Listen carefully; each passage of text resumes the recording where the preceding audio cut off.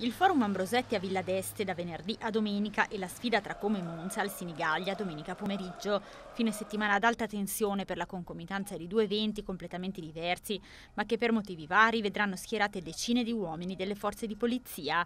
La sfida sportiva vedrà contrapporsi due squadre e due tifoserie con un'accesa rivalità che non si trovavano da tempo l'una contro l'altra. Il piano di ordine pubblico sarà definito domani in una riunione del gruppo operativo sicurezza.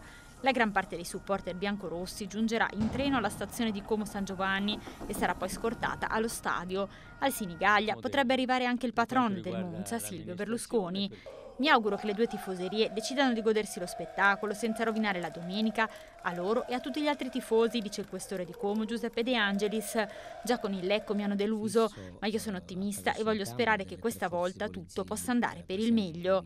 Poco prima della partita, alle 14 si chiuderà il Forum Ambrosetti, l'altro evento che blinderà la città in questo fine settimana. Moltissimi personaggi politici e del mondo dell'economia di livello internazionale che raggiungeranno Villa d'Este. Tra questi è previsto anche il Presidente del Consiglio Giuseppe Conte, ma la conferma è in attesa delle evoluzioni politiche, come si legge nel comunicato dell'Ambrosetti.